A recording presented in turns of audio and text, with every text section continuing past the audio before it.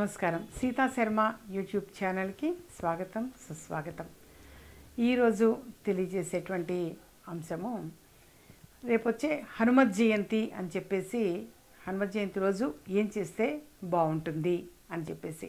అయితే ఎవరమైనా సరే చాలా త్వరగా అనమాట హనుమత్ జయంతిని అంటే హనుమంతుడిని వేడుకుంటే ఆంజనేయ స్వామిని వేడుకుంటే ఎటువంటి దుష్ట శక్తులు అనేవి కూడా దరి చేరవు అని చెప్పేసి మన పెద్దవాళ్ళు కూడా మొదటి నుంచి చెబుతూ ఉంటారు. వాస్తవం కూడా అది. అలాగే ఎటువంటి భయభ్రాంతులు అనేవి కూడా ఉండవు. వాటి దూరం అవటం అనేది ఉంటుంది. చక్కని ఆరోగ్యము అనేది చేకూరుతుంది. మనకేంటో కొండంత అండగా ఉన్నట్టుగా కూడా ఉంటుంది.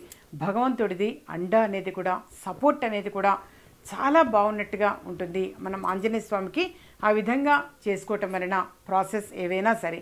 కొంతమంది హనుమాన్ చాలీసా చదువుతూ ఉంటారు.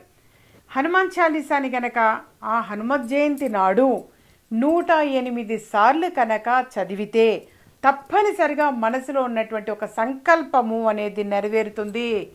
ఇది అనుభవంగా తెలియచేసేటువంటిది. చాలామంది కూడా చేసి చూసి కూడా తెలియచేయటం జరిగింది. అయితే ఒక్కసారి మీకు కుదిరితే నూట ఎనిమిది సార్లు హనుమాన్ చాలీసా పారాయణం చేయడానికి ప్రయత్నం చేయండి.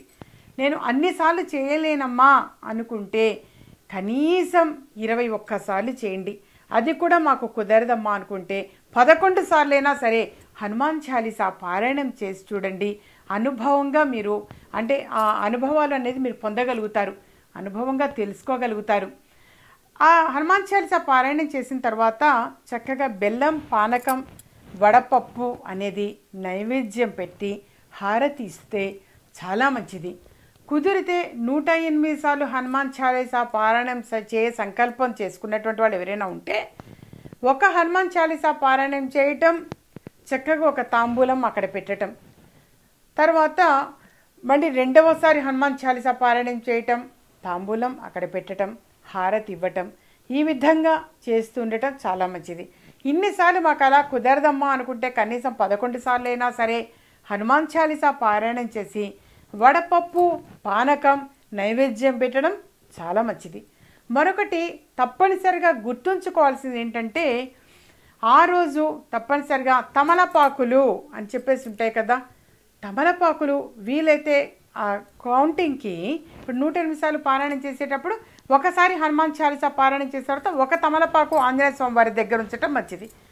రెండవసారి పారాయణం కంప్లీట్ అయ్యాక రెండు ఇంకొక ఆకు ఉంచటం. ఈ విధంగా నూట ఎనిమిది సార్లు పారాయణానికి చక్కగా ఇట్లా దండలాగా వేయవచ్చు స్వామివారి ముందు ఉంచవచ్చు లేదా తమలపాకులతోటి సూది దారంతో గుచ్చి కూడా తమలపాకు దండ కూడా చక్కగా సమర్పించండి. దగ్గరలో ఆంజనేయ స్వామి దేవాలయం ఉంటే అక్కడ లేదంటే ఇంట్లోనే ఆంజనేయ స్వామి చిత్రపటం ముందు కూడా చక్కగా మన ఇంట్లోనే అలా పెట్టి కూడా హనుమాన్ చాలీసా పారాయణం చేయవచ్చు.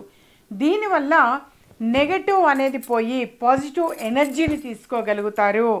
ధైర్యము అనేది ఒకటి వస్తుంది. ఒక సపోర్ట్ అనేది ఉంటుంది. భగవంతుడి అండ అనేది తప్పకుండా లభిస్తుంది. అలాగే మనసులో ఏదైనా సరే ఒక సంకల్పము అని అనుకొని హనుమాన్ చాలీసా పారాయణ చేసి చూడండి. తప్పకుండా ఆ సంకల్పము అనేది నెరవేరుతుంది. ఇలాంటి మరిన్ని ఇంట్రెస్టింగ్ వీడియోస్ చూడాలనుకుంటే మా ఛానల్ని సబ్స్క్రైబ్ చేసుకోండి. పక్కన కనిపిస్తున్న ఈ గంట సింబల్ని ప్రెస్ చేయండి.